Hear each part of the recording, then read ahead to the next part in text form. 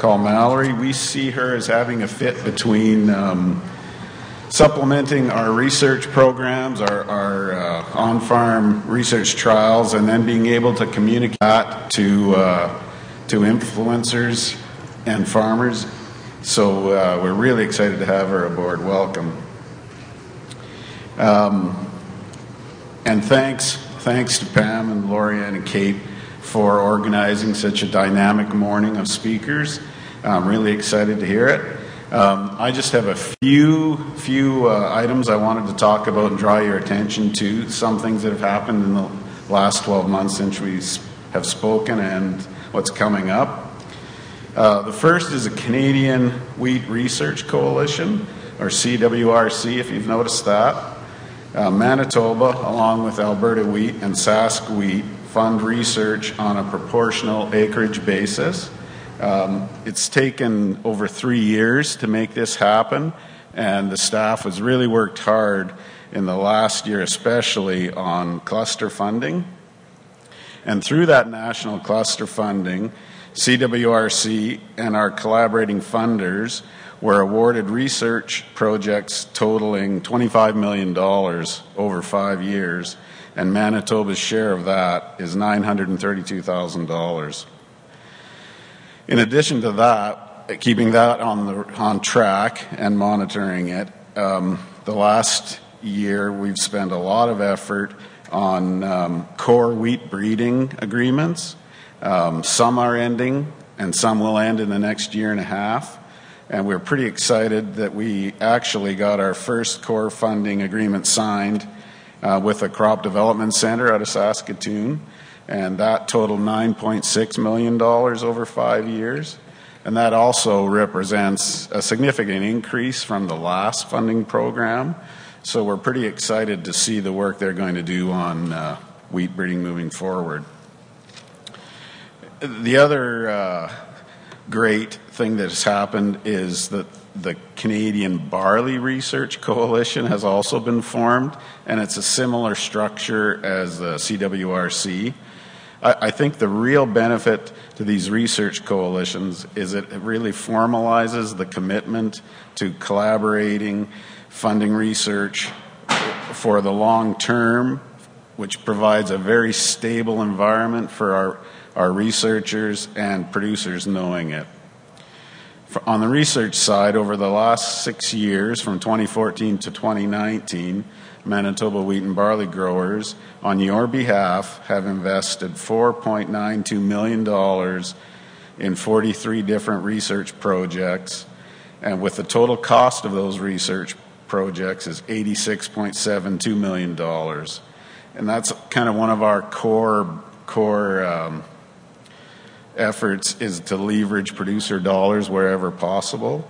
It doesn't mean we won't do research solely funding it ourselves. It just means that we try to, to get the most value out of our producer dollars.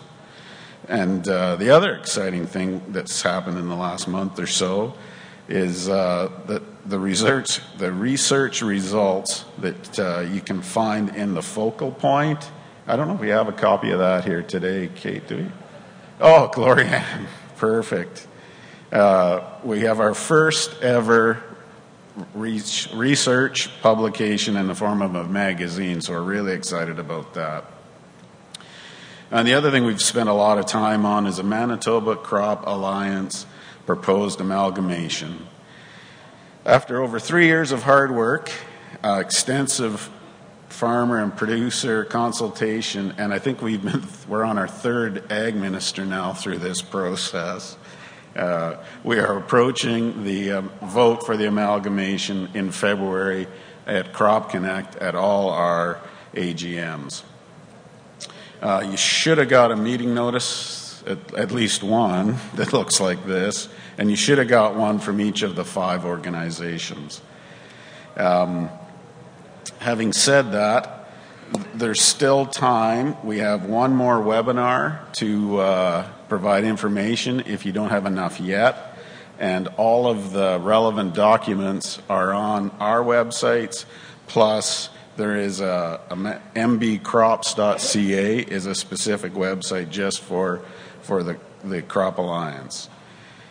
Um, I, I wanted to thank all the producers who took the time and effort to give us what seemed like sometimes criticism, but it was very useful information because we reworked the governance and structure of the board, and I think we have a have a significantly better organization. Um, there will be a a vote, as I said, at our AGMs on February 12th and 13th.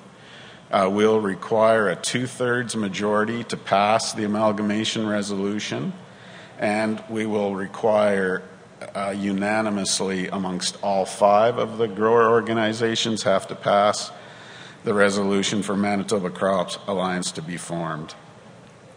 Uh, please plan to attend. If you can spread the word, we'd appreciate it. And if you can bring four or five of your neighbors and buddies to vote, that would also be great. Uh, there's no cost. You don't have to be registered to, at Crop Connect to attend any of the AGMs. Uh, okay. So the other thing I wanted to talk a little bit about is uh, falling number in 2019.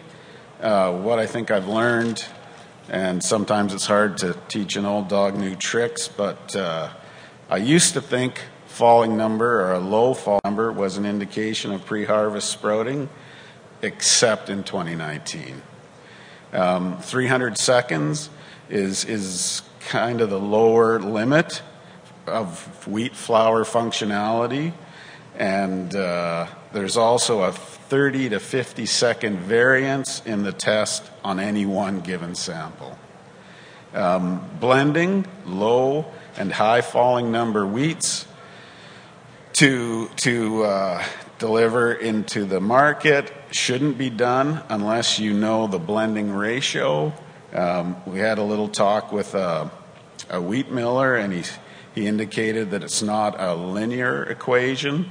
There's a specific um, formula you need to use, and, and it was it was way of, over my head. Uh, we did hear through new crop missions that our our purchasers of our wheat are concerned about falling number this year. I think part of that was uh, we had very little carryover of last year's wheat, so they immediately got this crop suite. Um, I think I think we as farmers in the interim need to be very vigilant about proper bin and variety sampling. We're starting to see there's some differences from variety to variety in the same wheat class. And, and we just need to have all those tested so we know exactly what we have so we can get as much value out of our wheat as we can. Um, the correlation between visible sprouts, as our grading system is based, doesn't seem to uh, equate into falling number like it normally does. Um, I kind of think that's like a couple of years ago we had the same issue with fusarium damaged kernels, didn't equate into DON level accumulation. So I, although we always feel like it's the grain trade is trying to take advantage of us, I, I don't think they really are. Um, what it does, I guess, say to me as, as uh, a board member that we maybe need to drive a little more research on this. I think we maybe need to challenge the Canadian Grain Commission and CIGI and whoever else on the research side can, can get some more modern recommendations because our varieties are different and we farm quite a bit differently.